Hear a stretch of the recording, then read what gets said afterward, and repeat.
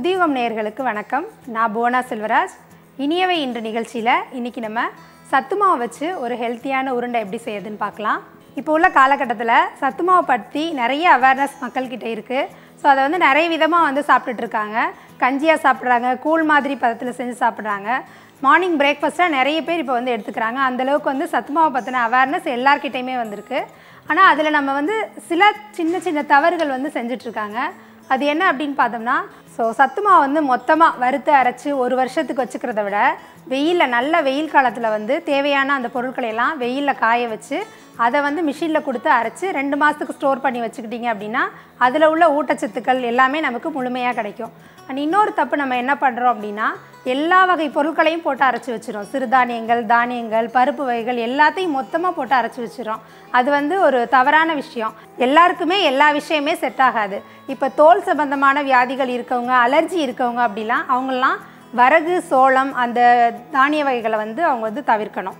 So அந்த மாதிரி நமக்கு என்ன செட் ஆகுமோ அதை மட்டுமே வந்து நம்ம வந்து சத்து மாவு கஞ்சியில் ஆட் பண்ணி சாப்பிட்டோம் அப்படின்னா அந்த ஊட்டச்சத்து முழுமையாக நமக்கு கிடைக்கும். இந்த சத்து மாவு வந்து நான் வந்து வெ- நல்ல வெயிலில் வந்து காய வச்சு அரைச்சி எடுத்து வச்சுருக்கேன். நல்ல ஃபைன் பவுடராக எடுத்து வச்சுருக்கேன். இதில் வந்து முந்திரி பாதாம் எல்லாமே கலந்துருக்கிறதுனால சிம்பிளாக ரெடிமேடாக சடனாக பண்ணி கொடுத்துடலாம் குழந்தைங்களுக்கு இதை இந்த சத்து மாவு உருண்டை செய்வதற்கு தேவையான பொருட்கள் என்னென்னு பார்க்கலாம். சத்து மாவு சர்க்கரை வெள்ளரி விதை துருவிய தேங்காய் சிறிதளவு நெய் சிறிதளவு. இந்த ஈஸியான ஹெல்த்தியான சத்து மாவு உருண்டை எப்படி செய்யலாம்னு இப்போ பார்க்கலாம். ஒரு கப் சத்து மாவு எடுத்துக்கலாம். இது வந்து வெயிலில் காய வச்சு அரைச்சது நல்ல ஃபைன் பவுடர் அரைக்கலாம். கொஞ்சமாக செய்யலாம். ஒரு வாரத்துக்கு வேணும் அப்படின்னா நீங்கள் மிக்சியிலே இதை நல்லா வந்து பொடி பண்ணி வச்சுக்கலாம். அடுத்து வந்து சர்க்கரை தேவையான அளவு.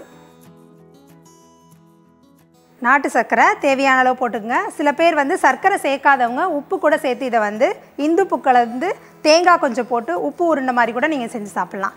குழந்தைங்களுக்கு கொடுக்குறப்ப சர்க்கரை சேர்த்து கொடுத்தீங்க அப்படின்னா நல்லா விரும்பி சாப்பிடுவாங்க. இப்போ இதில் வந்து துருவன தேங்காய். இது எல்லாத்தையும் ஒன்றா நல்லா மிக்ஸ் பண்ணிக்கலாம். நல்லா மிக்ஸ் ஆனதுக்கப்புறம் தண்ணி கொஞ்சம் கொஞ்சமாக தண்ணி விட்டு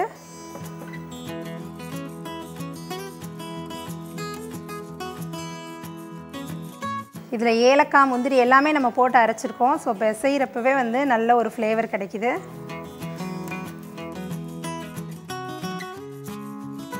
அதிகமாக தண்ணி ஊற்றிடாதீங்க ஸோ அது உருண்டை மாதிரி இல்லாமல் கொஞ்சம் லிக்விட் தான் வந்துச்சுன்னா உங்களுக்கு உருண்டை பிடிக்கிறது ரொம்ப கஷ்டம். ஸோ தண்ணியை வந்து கொஞ்சம் கொஞ்சமாக ஆட் பண்ணிக்கிங்க. இப்போ வந்து இதில் ஒரு ஸ்பூன் நெய் ஆட் பண்ணிக்கலாம்.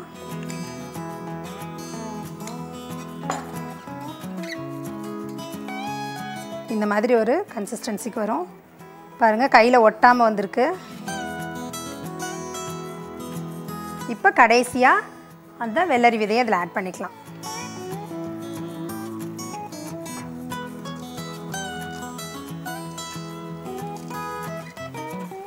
நல்லா பிசைஞ்சிட்டு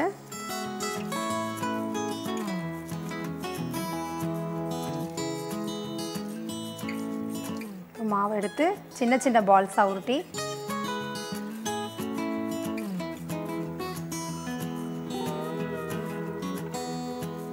கொஞ்சம் அழுத்தி இந்த மாதிரி உருட்டணும் அப்படின்னா விரிசல் விடாது.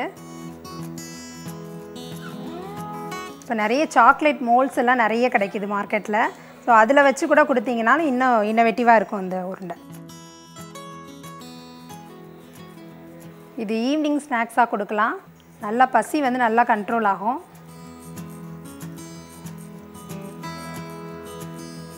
டூ டேஸ் வரைக்கும் நீங்கள் ஃப்ரிட்ஜில் வைக்காமல் வெளியில் வச்சு இதை யூஸ் பண்ணலாம்.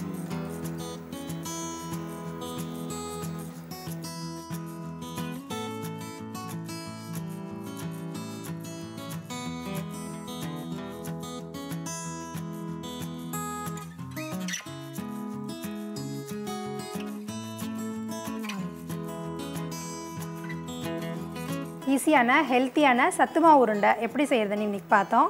அடுத்த வாரம் வேறு ஒரு இன்ட்ரெஸ்டிங் ரெசிபியோடு உங்களை வந்து மீட் பண்ணுறேன் தேங்க்யூ